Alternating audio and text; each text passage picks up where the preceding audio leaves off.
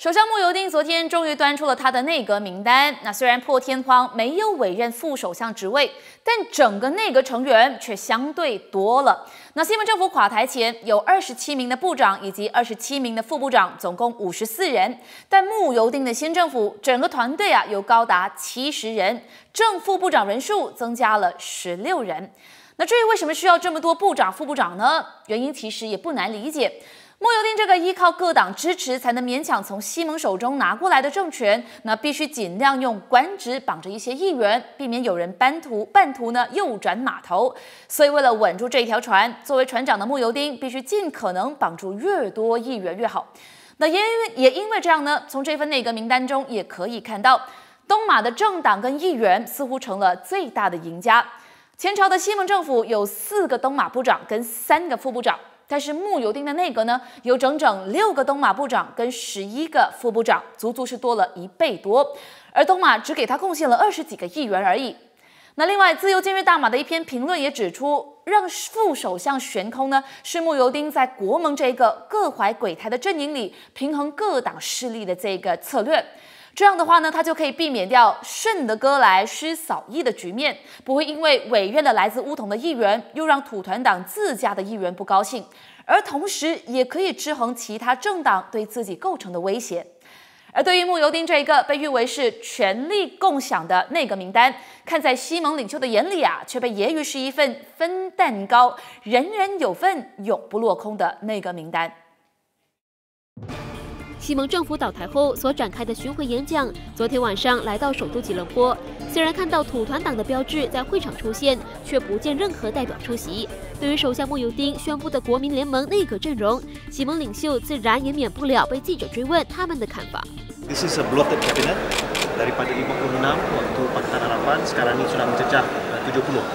除了法米抨击新内阁阵容过于臃肿，前直辖区部长卡利沙莫也在自己的面子书上贴文抨击，由七十人组成的国民联盟内阁其实只是一个人人都有份的阵容。他表示，这样的内阁阵容纯粹就是为了讨好联盟里的其他政党。另外，前副首相旺阿兹沙也同样对新内阁不抱有很大期望。旺姐今早在接受彭博社访问时透露，新内阁其实只是新瓶装旧酒。汪姐认为，内阁成员除了有许多部长回国，大部分来自乌统的成员还曾经涉及一马公司丑闻。那虽然西蒙的人认为穆尤丁的这个内阁是一个人人有份、永不落空的内阁，为的就是要安抚各党的需求，让每个党都有足够的固打，享有政权资源。但也有分析认为，那表面上看来是人人有份，但实际上。穆尤丁的这份名单其实内藏玄机，充斥着计算。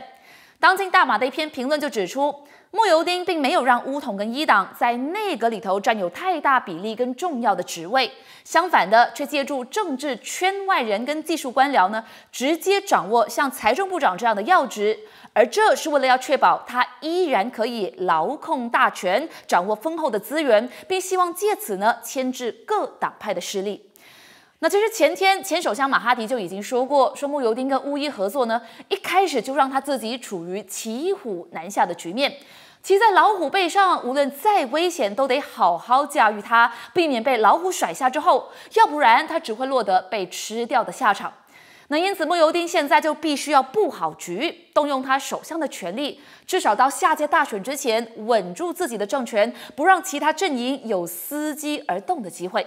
那当今大马的分析指出，财政部长扎夫鲁呢不是政治人物，没有政党的约束，而这意味着扎夫鲁将会直接听命于首相，不受政党影响。同时，莫尤丁也废除了西蒙政府时期的经济部长职，把职务呢转到了首相署，由穆斯达法出任掌管经济事务的首相署部长。那这也意味着穆斯达法呢将会直接听命于穆尤丁的指挥。那除了牢控经济大权之外，莫尤丁所属的团结党还控制了几个重要的部长职，比如说内政部长跟教育部长。另外，分析也认为，穆尤丁不仅仅是抑制着同一个阵营竞争者的势啊这个势力，他还设法排除乌统主席阿莫扎西还有其他派系的影响力。比如说，阿莫扎西他没有入阁，而其他的派系，比如说像西山穆丁，则被派去担任外交部长。那西山布丁呢，也是配合阿兹敏密谋，在推翻西蒙政府的过程中扮演重要的角色。之前他就穿针引线，组织乌统议员支持马哈迪，甚至暗地行事而没有知会乌统主席阿莫扎西。但现在他被委任外交部长，那这意味着西山穆丁必须要常常跑国外，因此也限制了他在本地政坛活动的时间。而促成这一次变天换政权的另外一名得力门将阿兹敏，从经济部长转任国际贸易及工业部长，就被认为说其实是被降格，为的就是要抑制阿兹敏的影响力。那至于一党，他们最渴望得到的职务，或许是掌握宗教事务的首相署部长。然而穆尤丁却把这个职位给了另外一个政治圈外人，让原任联邦直辖区宗教司祖基菲里通过被委任为上议员呢而出任这个职位。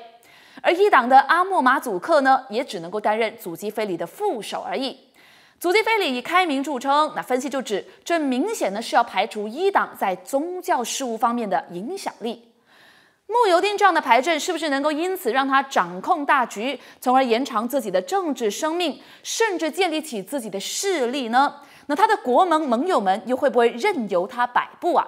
这除了是穆尤丁接下来必须面对的挑战之外，也是另外一个版本权力的开始。